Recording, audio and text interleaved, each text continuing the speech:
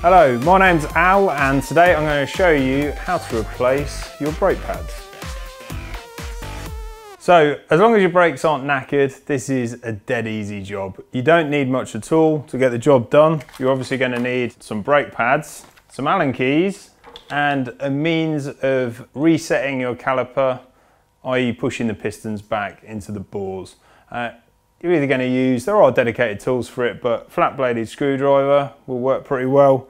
Or we're working on some SRAM brakes here. So we've got a, an, a SRAM pad spreader.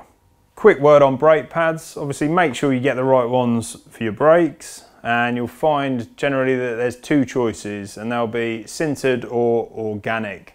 Sintered pads have got metal in the, in the pad compound as such, they do last longer. So if you're wearing through pads, you ride somewhere really gritty and filthy, might be a good choice. Organic pads tend to offer a bit more initial bite when you apply the brake and they also tend to be a bit quieter. So there's plus points to either. Make your choice. These are sintered. We're going to fit these, see how we get along. First thing we need to do is remove the wheel from the brake that we're going to swap the pads on.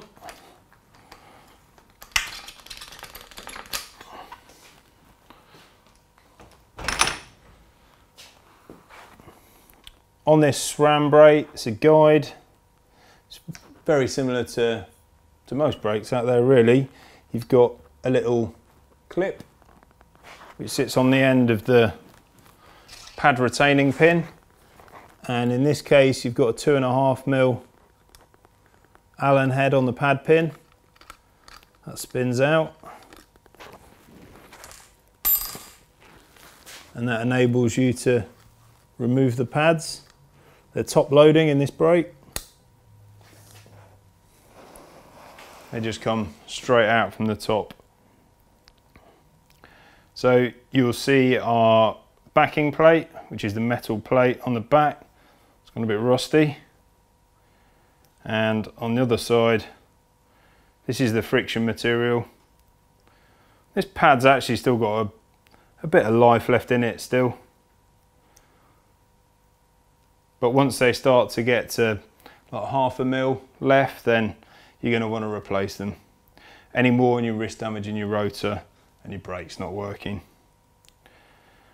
We often find that the original pad spring supplied with the original pads is, uh, is better than a lot of aftermarket ones. It's less likely to create noise.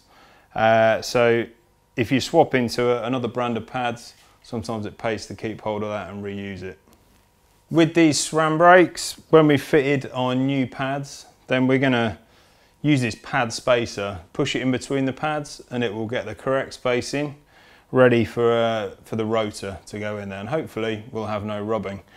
If you've got different brakes or you don't have one of these, then the best thing to do before you take your pads out is to use a flat bladed screwdriver and lever in between the, the pads to push them back and it, you're effectively pushing the pistons of the caliper back into their bores and that will reset the brake and give you plenty of room for the new pad which will have a bit of extra meat on it. This is the better way to do it though. So if you've got the pad spacer, that's preferable.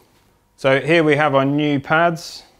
Pop in the spring into position, creating a little sandwich. Like so. Some brakes will have left and right specific pads. These don't. Once they're in place, fit your pad retaining pin. Just nip that up. Finger and thumb. And then we fit in our little clip on the end of the pin. So just in case it comes loose, we're not going to lose it. With the new pads in place, we're getting our pad spacer and that just fits in between the pads from above.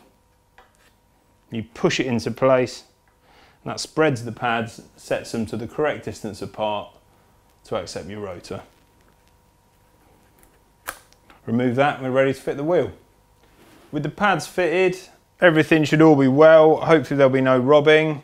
Uh, if you do find that the bite point has changed, which it may have done, because even though brakes are self-adjusting, the pads do still have an effect on the brake, then you might need to adjust that other lever if you've got a bite point adjuster. Other than that, take the bike out, give it a few good hard stops from a decent speed, about 10 or so, and that will bed in the pads because initially you won't get much power and then you'll feel the power coming on and that'll help your brakes to work better and for your pads to last longer in the future. So that's it. Thanks for watching. See you next time. Cheers.